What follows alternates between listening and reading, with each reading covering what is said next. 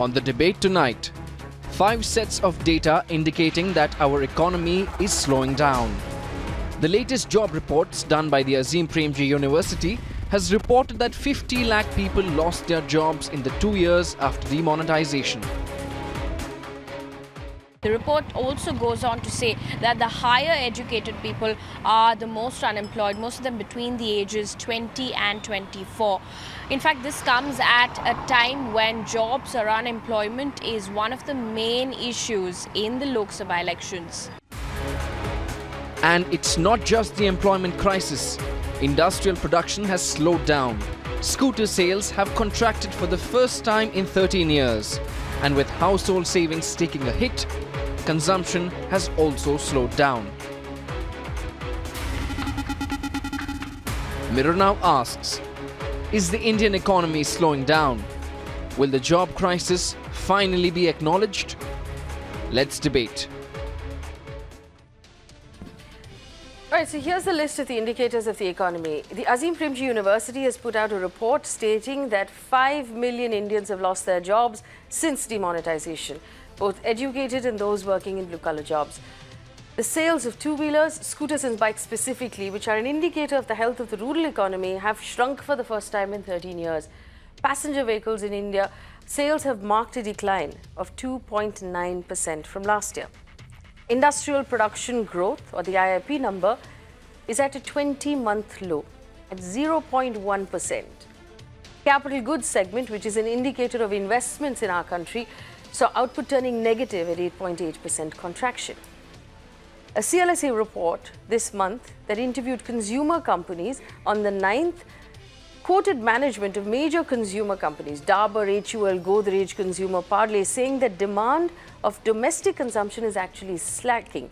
And both rural and urban markets, they're actually seeing a drop. In fact, Godrej Appliances business head, Kamal Nandi, actually said that consumers are spending less on discretionary items and only buying necessary items at this point. But the number that really worries me is the household savings number. Now, this is an indicator of how much the average Indian home is managing to save. The household savings as a factor of our GDP was at 17.2, the lowest since 1997. Is our economy in serious trouble? And what does that mean for us as Indians? Joining me on the show, Zafar Islam for the BJP. Jayati Ghosh is a professor of economics at JNU.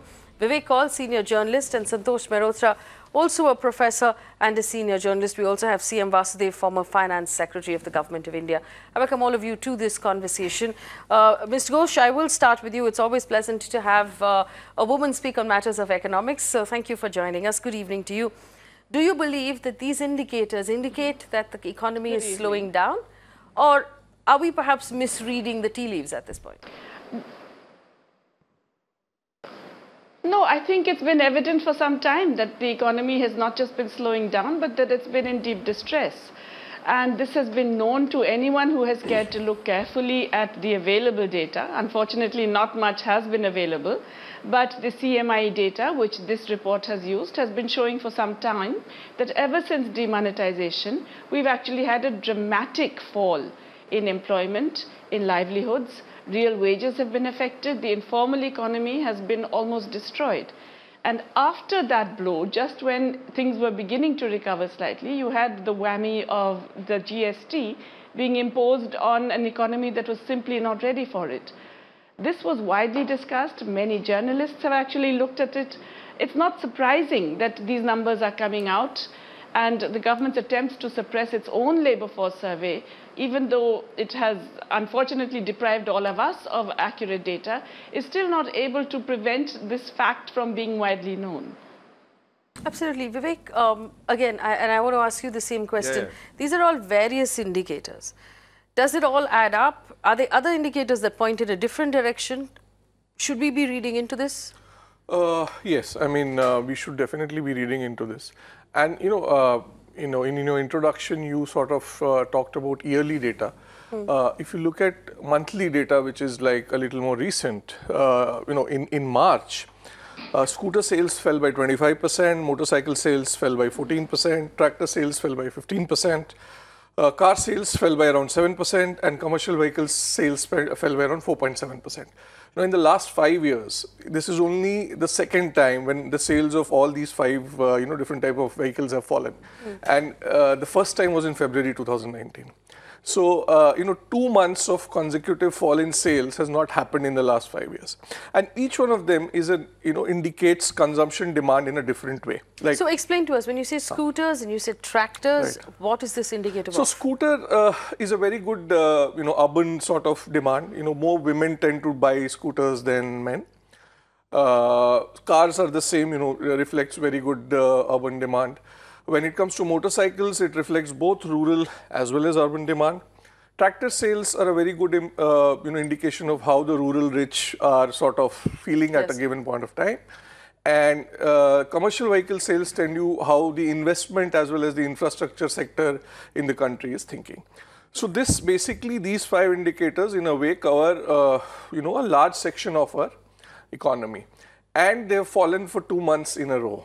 Yes. And that's not happened in the last five years. So, indeed, I mean, I think if this is not worrying, I don't know what is. So, in fact, uh, uh, Professor Mehrotra, I want to ask you about household savings, and this is important because this is a number that's released by RBI. Effectively, it tells us whether Indians are making more money than they need. So, they're managing to save some amount of that in fixed deposits, in recurring deposits. But if household savings has actually fallen, and it hasn't fallen this much, hasn't been this low since 1997. What does that mean?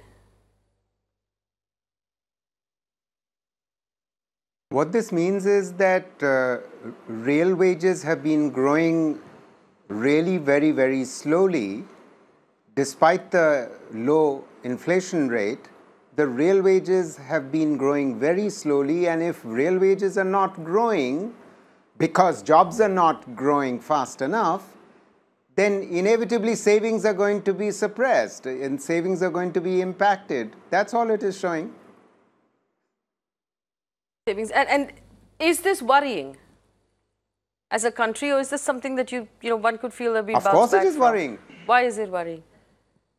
It goes without saying. It, it, it's worrying because savings determine investment rates. Uh, savings are also showing what is happening to consumption. I think we were hearing from Vivek also about what is happening to consumption.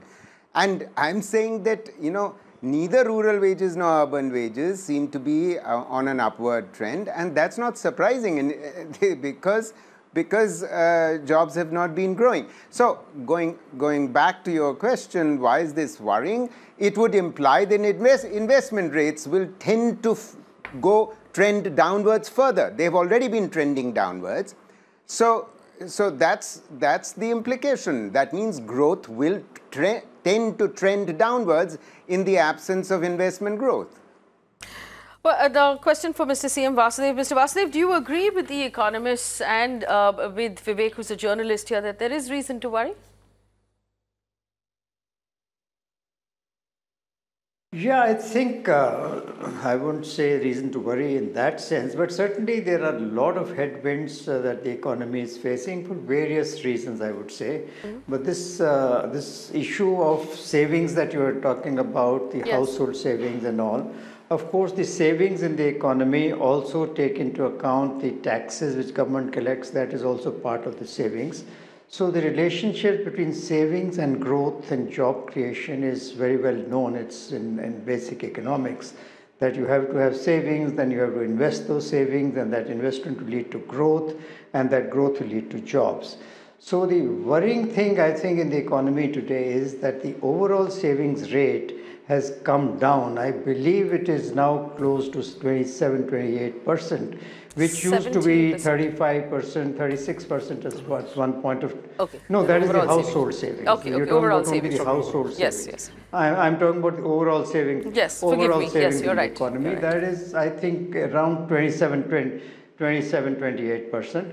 And the investment rate obviously has also come down. Maybe if you add the uh, foreign investment and the foreign savings that are flowing into the economy, maybe investment rate, maybe even uh, 30, 31% or so. So we were at a, one point of time in the economy a few years ago when the savings were 25, 36% and the investment was almost 40%, which is take, took into account the foreign savings and the foreign direct investment also.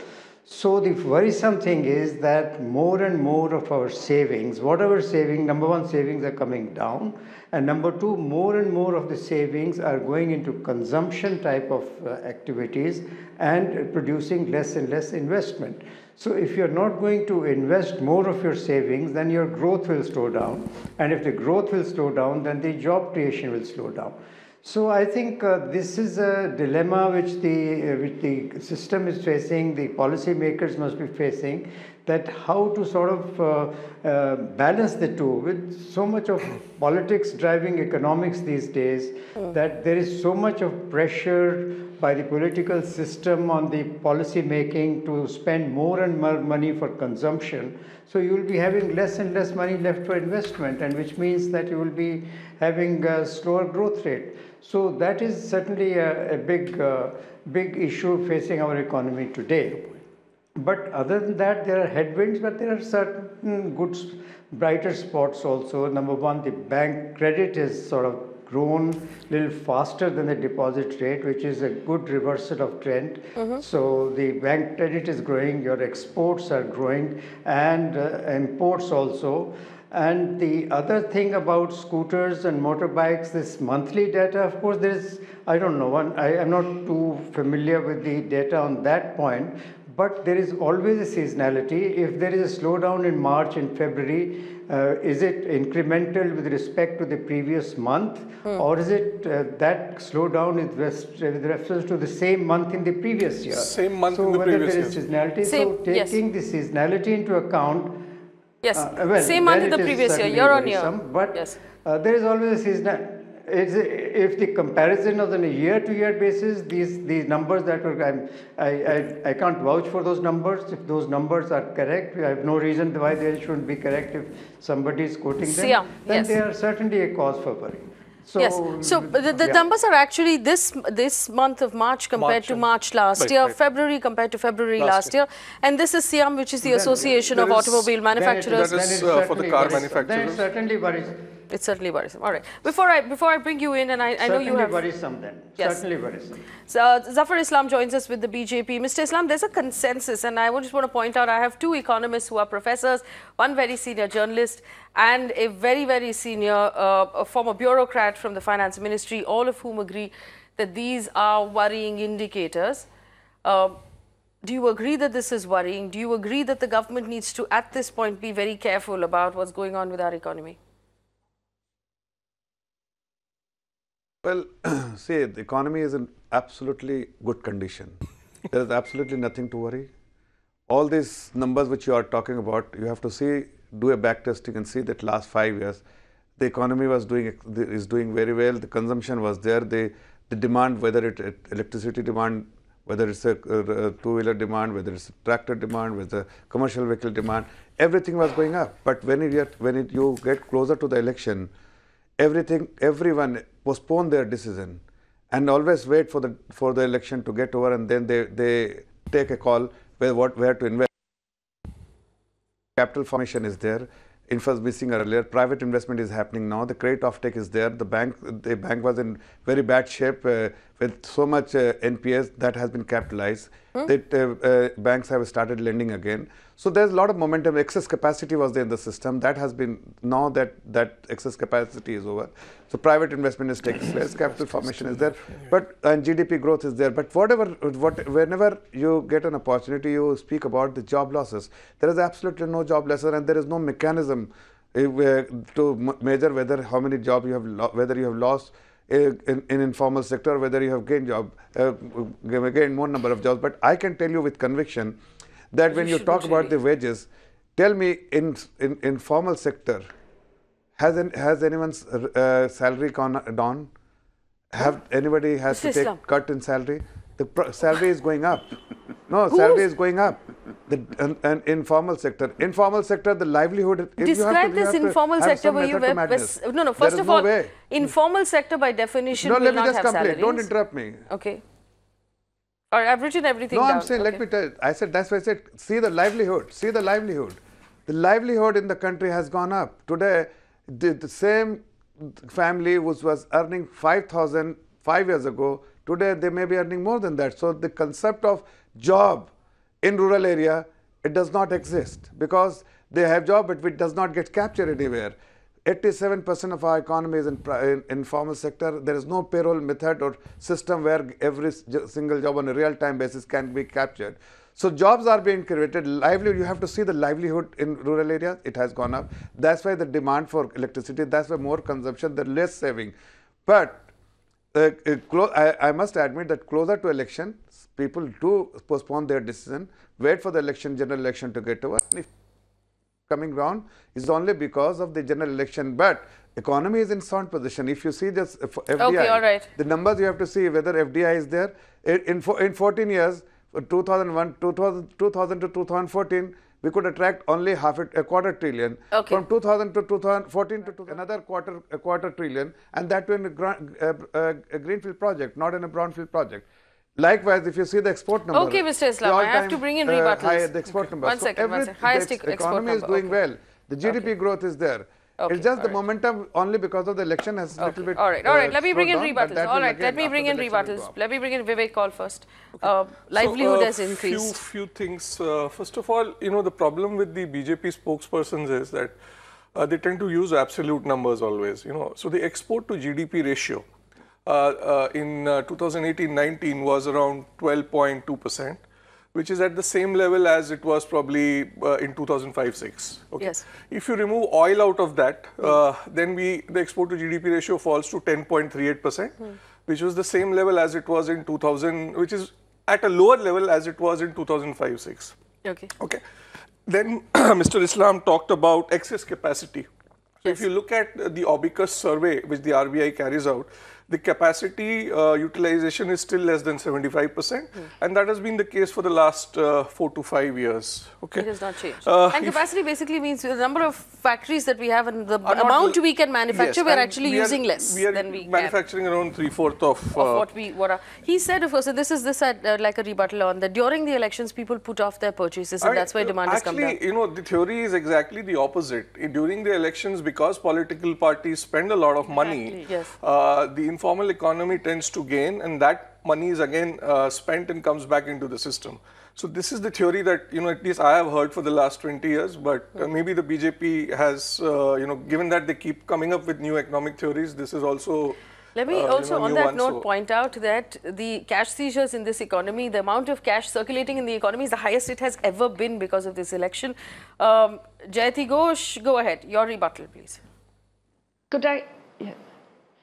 Yes, I, I want to come in on several points. One is about the elections. You know, historically in India, elections have been a boost to the economy. And precisely for the reason that was mentioned, it's not just this election.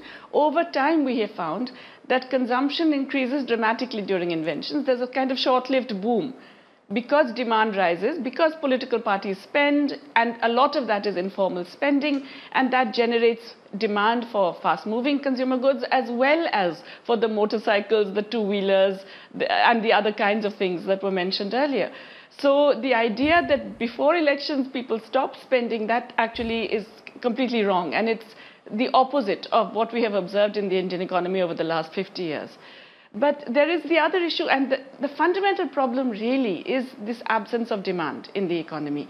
And this is something that has been happening over a while because of the fact that we've had relatively jobless growth for quite a while uh, in over the last 20 years maybe and that a lot of the wage have, have not been rising as, at the same rate as GDP. So wage shares of income have fallen and workers normally consume more and that's why in fact we've had less demand in the economy. To add to that, we've now had a major crisis in agriculture. So when everybody celebrates the control of inflation, we have to remember that this has come at the cost of agricultural incomes. Farmers' incomes have been almost flat. And some of them have actually declined. And that's a huge source of economic distress and a huge source of declining demand. So we have to remember that differential rates of inflation matter hugely in this economy. The things that farmers buy, those have risen. The prices of those have risen. The things they sell, the prices of those have in fact fallen very recently or have remained flat. That's very important in terms of affecting demand. In addition, then we have the informal economy. I've already talked about the loss of livelihood. Uh, the spokesperson of the BJP is completely wrong when he says we don't have data to capture it. Our statistical surveys have been specifically designed to capture informal employment. They were known across the world for this ability to capture different kinds of informal employment. And the latest labor force survey, which has not been released, but we have the leaked data, show us that in fact the informal employment that had been generated over this period of growth, even that has been very dramatically affected. And that's another source of declining demand. Now, all of this has negative multiplier effects. In other words, when you hit the informal economy, when you hit farmers, when yes. you hit small traders and small businessmen and tiny micro entrepreneurs, their demand declines. They employ less people. Those people uh, lose wages or lose their jobs. They demand less. You get a spiraling negative effect that finally also hits the formal sector. And that is what is happening now. We're right. getting uh, the formal so sector also being hit by this declining demand. Is especially, and uh, uh, Professor Mehrotra, I unfortunately don't want to take you down that route where you start to tell us again how jobs data is actually collated and why it has always for the last 40 years captured the informal sector as well. Uh, let's talk about the fact that there are surveys being put out from consumption companies like Godrej and HUL saying that demand is slacking and people are actually only buying what is necessary and not spending on anything discretionary at this point, which means that they're buying the toothpaste because they have to buy it, but they're not buying the AC because they can put it off for a few months and now is not a good time. What would that mean and what does that suggest to us in terms of our economy? Also, if there's anything you want to offer a rebuttal to uh, in terms of what Zafar Islam said, please go ahead. Right. So uh, let me make a few points. Uh, people are postponing consumption until after elections. If they were postponing consumption, then clearly it means people are saving more. So the savings rate should have gone up. But we know that the savings rate household savings rate has gone down. So how do, how do you square that circle? Point one. Point two, about formal sector wages have they gone down anywhere in any sector? I don't think any one of us, any, any one of us said that. I was saying that real wages are not rising. Formal sector wages may rise a little bit, but if inflation is cancelling that out, then that doesn't mean that you know real wages have been increasing. If anything, the evidence is that because of slow job growth, wages have not been rising on there, there is another source of demand. I think uh, was rightly emphasizing the source of aggregate demand in the economy. There's not just domestic demand, there is the issue of export demand. And in the last five years, the dollar value of merchandise exports has actually been lower than it was in 2013 14. In other words, we have just not been able to export because we, we have damaged the, a significant part of the unorganized sector, which accounts for 45% of our exports. So why should we be surprised that exports are not have not exceeded the 2013-14 level. Only in 2018-19, finally, we've just crossed this 2013-14 point. And finally, on power, we were told about power, that we are doing brilliantly on power. Well, plant load factor is still at the at, at 60%. Mm. Plant load factor is among the at the lowest level in a long time. And as Vivek rightly pointed out, capacity utilization is not exceeding 72%. So in other words, every indicator is suggesting that there is a compression of uh, aggregate demand. Well, we have questions, uh, interestingly, that's coming in from our audience, and this one is interesting. Leonard says, is this another India Shining episode? Mr. Zafar Islam, is this another India Shining episode where the government and the party that runs the government is convinced that everything is great, but there is no indicator that supports that at all. The, actually, the rest of the country is feeling a very different reality. I, I think uh, all, uh, all the panelists, they are, they are fully aware of the state of economy what we had in 2013-14. And it is the same economy which was, uh, uh was uh, uh, designated as one of the one of the five fragile economy globally. And all the macroeconomic parameters at that point in time was looking terrible. And mm. today, if you just see the all the macroeconomic parameters today, and compare to what we had in 2013, and you, everyone knows that the economic, uh, all the parameters looking uh, very good. But you had a negative uh, real interest rate at that point in time. The inflation was in double digit. Now it has come off. Inflation is well under control. We uh, the uh, we had uh, all the fiscal prudence we have followed. The fiscal deficit from five five and a half to it has come down to three handle. Hmm. Then you, you all the other macroeconomic parameters, uh, tax to GDP ratio is showing very, very, very, very good. Then you also, have, if you see the corporate corporate earnings, that has also gone up. So there are very, very positive things. Yes, the, uh, the okay. consumption side, it's a consumption-led economy. Some, uh, some uh, uh, uh in last few months, if the demand has come off, it may have demand. But I am when I was talking about the closer to closer to the election, there you uh, you see commercial vehicle. There are many decisions which which uh, many of the investors do postpone purely because if they have want to put up a big plant, they will postpone their decision purely because they will no, see no, no, no, one second. Mr. Mr. Mr. All right, I have to bring in people to, so I, I, you know, we have to break this up because if you put in too many statistics, then I can't bring in uh, rebuttals. But we're not talking about people buying up commercial commercial car plants. We're talking about the sales of scooters that has come down. But uh, Vivek Kaul, here are the, uh, the things. He said compare it to the economy of 2013-14. Inflation is now very low, which is actually not a good thing. He said corporate hmm. earnings is high and that there is right. positivity. Your so, uh, okay. So I recently sort of, uh, you know, wrote a piece for a newspaper where I compared uh, 15 economic indicators uh, in the Manmohan Singh era, uh, which is 2009 to 2014, the second term, and uh, Mr. Modi's term, 2014 to 2019. And in 11 out of those 15 indicators, uh, the Manmohan Singh era came out better, which is very surprising, but that's the way it is. And this included, uh, you know, things like domestic two-wheelers, car sales, tractor sales, uh, retail loan growth, uh, you know, passenger revenues of Indian Railways, commercial so on and so forth. On inflation, uh, BJP did better, hmm. uh, but that's also because food inflation has come down. If you look at non-food, non-fuel inflation, uh, that has varied between four and a half to five and a half percent. Yes. Uh, so for the middle class, it hasn't really uh, mattered much. The one indicator on which uh, Mr. Modi has done really well is airline number of airline passengers. More people are now flying than ever before, and the growth airlines has also been fast. shutting down. Uh, airlines are shutting down, but then I mean you can't blame the government for that. Yes. So. Uh, so on a whole host of indicators, corporate earnings, in fact, in 2017-18 were at a, if you sort of you look at them as a proportion of the GDP, they were at a 15-year low. Hmm. Uh, so, uh, you know, Manmohan Singh was bad. Uh, and you know in 2014 nobody really would have thought that Modi, Mr. Modi would be worse than that. But if you look at a whole host of indicators, I mean that comes out to be the case. So. Well, that was a handy report then to have. Uh, let me also bring in Mr. Vasudev. Could I just add one thing? Okay, Ms. Go Professor Ghosh, go ahead. Go, go ahead, please. No, just one point. I just want to mention that, in fact, the second term of the UPA government was one of a very severe global headwinds it, this is the period just after the global economic crisis and then followed by very sharp increases in oil prices. So two factors that dramatically adversely affected the Indian economy.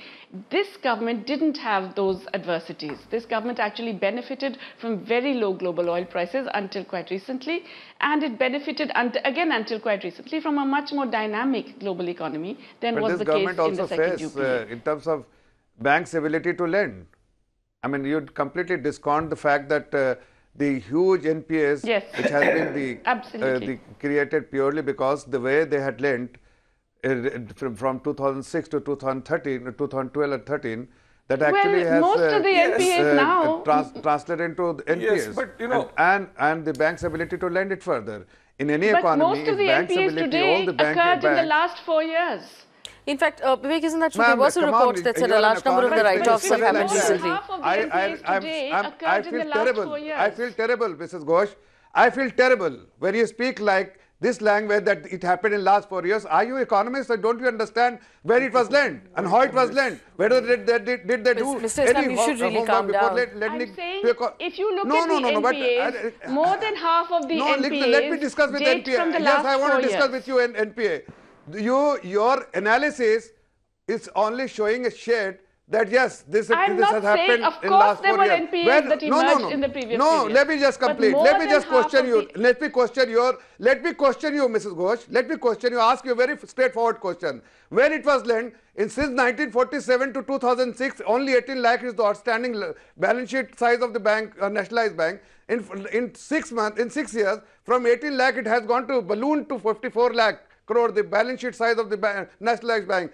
Whether it was lent judiciously or it was just lent purely on, a s- uh, on uh, to, uh, to project which cannot even generate the EBITDA, it, it service their debt. In fact, if you do an analysis, as an economist, you will, si- you will see that 60% of those projects Mr. was Islam, not even able f- to first of all, we should debt. calm Forget down. about, This is a uh, very this. civil So it turned out conversation we are having. I have and bank was actually not in a written- position I to Okay, okay, Mr. Islam. Okay. Mr. Islam, calm No. down. So No, no, you we've heard you out. Mr. Islam, don't get upset. Quick point. I have One- written one many second, one on second, this. one It second. is true. saying that give But No, no, but you're right. shouting. It's Don't shout. There's no need. right. right picture. Give the people right No, no, don't don't shout. Allow people to rebut Give- what I'm you not have shouting, said. I'm- I'm You sound. It really sounds like you're shouting. I'm re- Okay, calm down. Allow no, her I'm to not. answer. I'm saying that I'm Okay. just humbly Okay. requesting that Then- at least okay, give then the right let's humbly also listen I to can- the answer. We can do well, we can do ba- badly. Okay. But at least as an as Okay, an Mr. Mr. Islam, you have to calm you- down you so that we can hear the is right answers. Are you the willing to listen to the not answers? Only right or bad for the uh, BJP. All right. The answer, Ms. Uh, Professor Ghosh, go ahead. No, I just want to say I have written extensively on how there was too much of this adv- uh, unfortunate lending that occurred in the second UPA, certainly. But what has happened since then is actually got worse. It hasn't got Okay. better. That's the point. All right. I just want to bring in Mr. Mr. Vasudev. Okay, no, no, no, no, no. One second, one second. Let's, let, we don't talk over I, each I other. disagree with you. Okay, I'm, I'm sure you do. I'm sure you do. I just want to bring in Mr. Vasudev. Mr. Islam. Mr. Islam, with all due respect, please listen to the other panelists. I want to bring in Mr. CM Vasudev. Mr. Vasudev, uh, you know, unfortunately, all of the conversations we have had about jobs, about the economy, about all of these other things in the last uh, year or so actually, and we started actually covering this post demonetization. It's a general news channel, but I believe that the audience has a right to this information.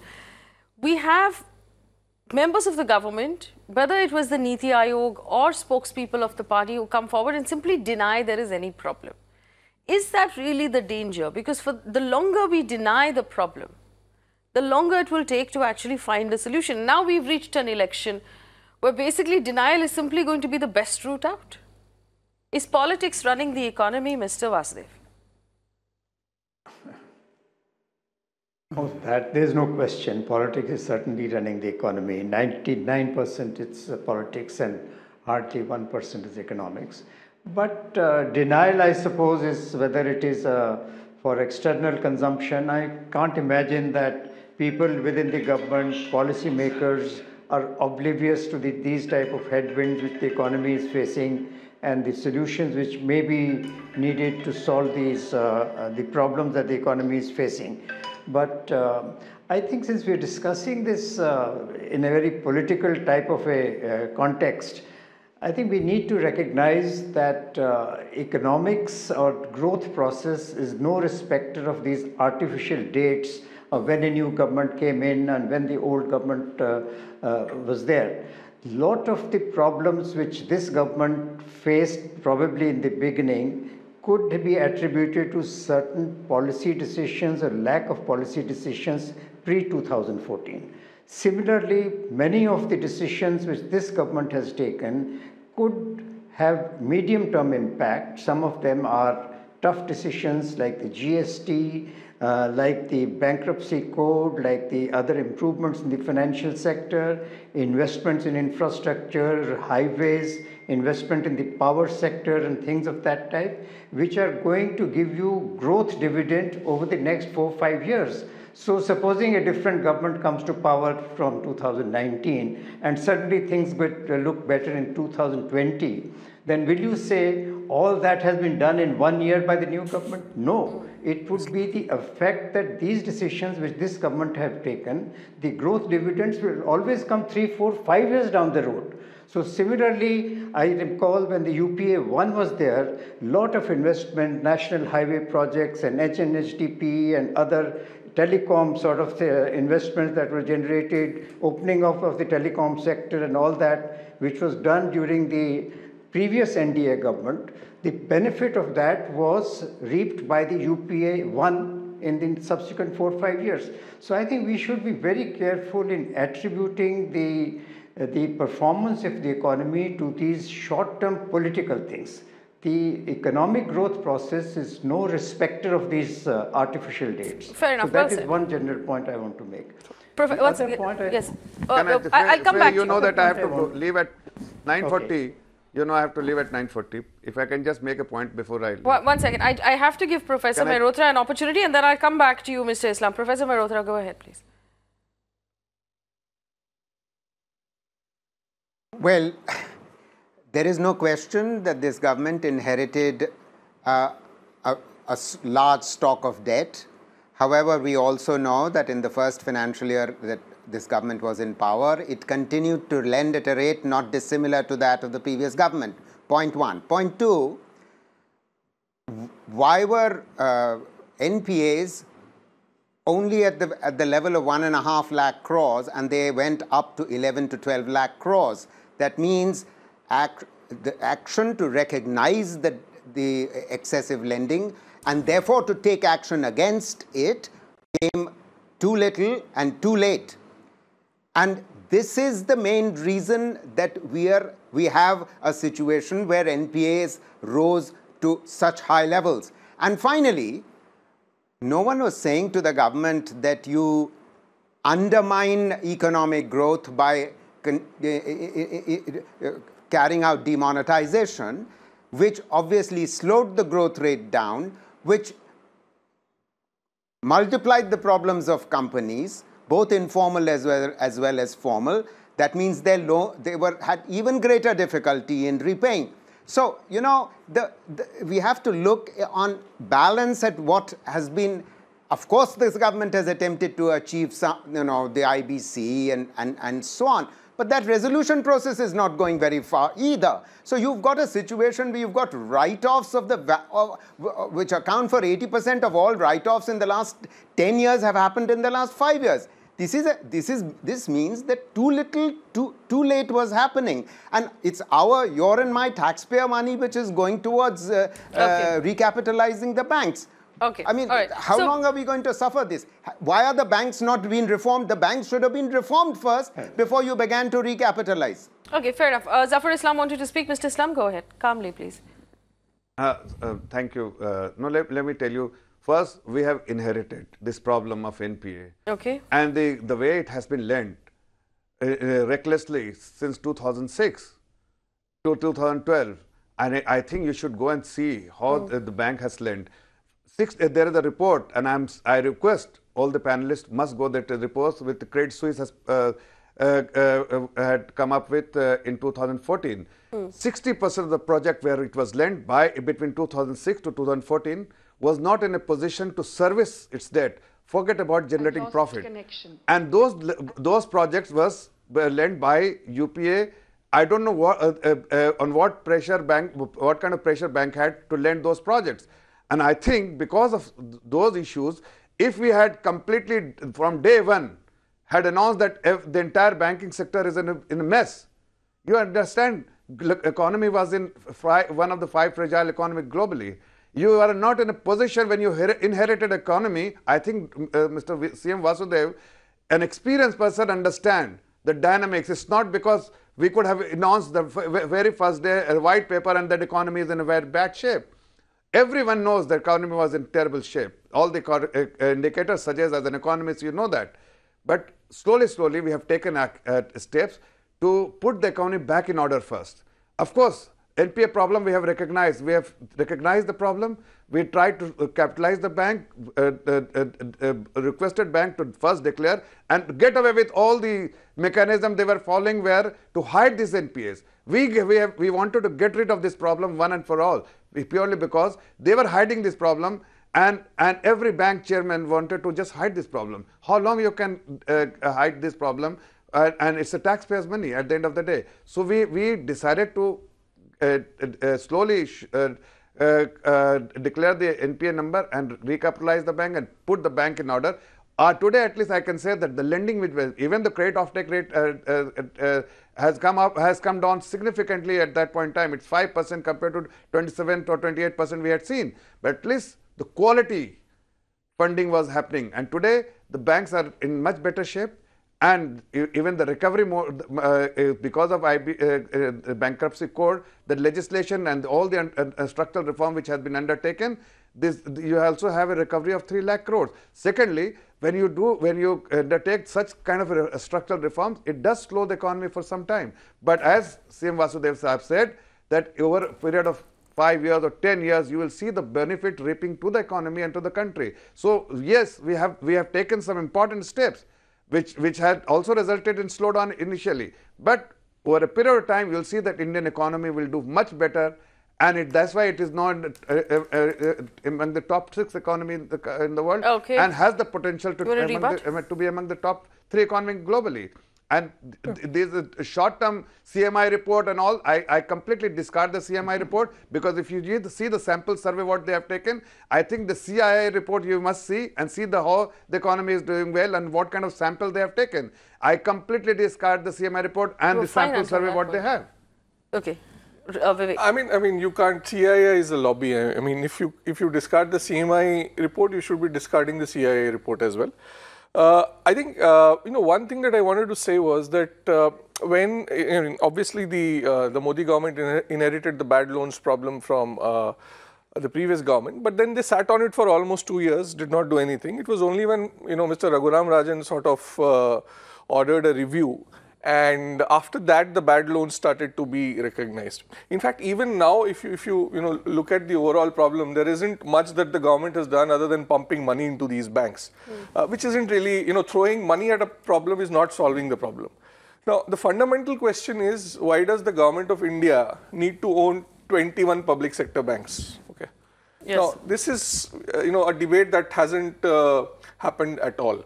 This and the whole, I mean, let's let's just consider the Jet Airways mess has now happened mm. after all of the learning has come in, again. and we've taken, uh, you know, we've taken the banks have taken on Jet Airways and then allowed it to fail. It grounded today. Yeah, so. I mean, so which is. Uh, and, and, and you know the biggest I, point uh, is that can I uh, just leave because November, I have another meeting please yes please go ahead Mr. Islam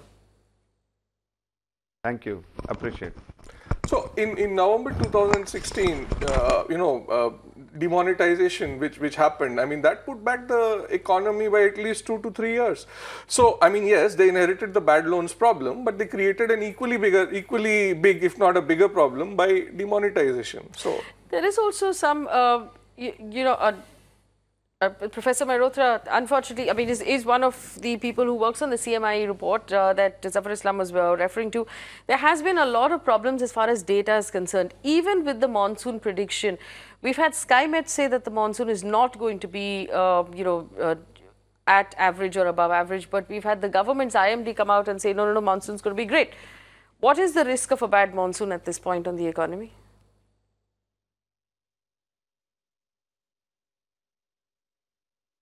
So you are, are you asking me? Yes, I am. Uh, yes, I am. Uh, well, uh, whatever reports we've uh, received from the Met Office suggests that the monsoon is going to be reasonably good. So, I mean, we have to wait to see. Uh, thankfully, the Met Office's uh, predictions have become better and better over the years. So, I, I, don't think that should be too much of a, of a, of a worry. But it is true that uh, there are firms which will be holding off any any investment that they might, might be uh, planning to undertake for a few months until a new government comes to power. That means nearly half the year of, the, of uh, might, might go before we might begin to see any, any revival. That's the, really the bigger source of worry. It's the fact that, you know, there will be, there is uncertainty uh, about, uh, uh, about politics. Yes, unfortunately, we, we're going to have to leave it there, but uh, there has been several, like we've talked about, several indicators that show us that there is something wrong um, on the ground. And India is really a, a, country that functions on domestic consumption. We hope that Indians will do well. They will make a lot of money, they will save a lot of money, and they will use that savings to buy things. Thereby, businesses will be able to add jobs and expand. That basic backbone now is starting to seem very weak. We're going to watch the numbers closely. Of course, there will be an improvement because of the kind of cash that's circulating in the market and this cash will be used by people to supplement their salaries and their income and spend it on their families for a while. But in the long term, whichever government is in the seat of power has to ensure that the economy comes first, that we find a solution for the jobs problem, that we find a solution uh, for the rural economy and for the crisis the farmers are going to because that is the only way to solve the issues we're facing. Well, let's go across quickly to a breaking story that is coming in at this point. Uh, we understand the Election Commission of India has put out an order and it has taken action this time against one of its own. The Election Commission has suspended the General Observer Mohammad Mohsin who allegedly tried to inspect Prime Minister Narendra Modi's chopper in Sambalpur um, while he was on campaign. Mohsin is a Karnataka cadre IAS officer. He has been suspended for dereliction of duty. The notice basically says that therefore, uh, taking into or taking everything into consideration, Commission places Mohammed Mohsin IAS under suspension with immediate effect until further orders. The headquarters of Mohammed Mohsin shall uh, be Sambalpur uh, will wait for further orders. So this is the breaking that uh, breaking information that's coming in right now. This time, the Election Commission has sent a notice and an order about uh, one of its own observers. Aishman on the phone line from Delhi. Aishman, what information can you give us right now about what really happened with that chopper? Well, Election Commission has suspended uh, the its General Observer Mohammad Mohsin, who is from the Karnataka cadre, and he's an IAS officer. He allegedly tried to inspect the Prime Minister Narendra Modi's chopper, and this was said that he tried uh, to cause a concern to the SPG, and that is why he has been placed on suspension, and the Election Commission has confirmed it. And they also said that this is confirmed by the written report from the District Election Officer and the DIG in Sambalpur, and that is why he has been suspended and he'll be there in Sambalpur until further orders say. Right. Uh, is there any uh, uh, any sort of response as to what he was looking for, or why he thought uh, he needed to, uh, you know, actually inspect the chopper of the prime minister while the SPG was present? Well, nothing, nothing as of now. The election commission has clearly said that uh, the action of Mohammad Mohsin clearly somewhere uh, tried to uh, he he was uh, doing something which was not acted in conformity with the ECI instruction, and that is why uh, the commission felt that what Mr. Uh, Mohsin did was not the correct thing to do, and that is why he has been placed in the suspension. All right, uh, quick recap of that breaking news. Thank you, Aishman. The Election Commission has suspended General Observer Mohammad Mohsin, who allegedly attempted to inspect Prime Minister Narendra Modi's chopper at Sambalpur. Mohsin is a Karnataka cadre IAS officer who's been suspended for dereliction of duty until further orders. That's a wrap here on the Urban Debate. We're going to take a quick break, but stay with Mirror now for more news and updates. Thanks for watching. Good night.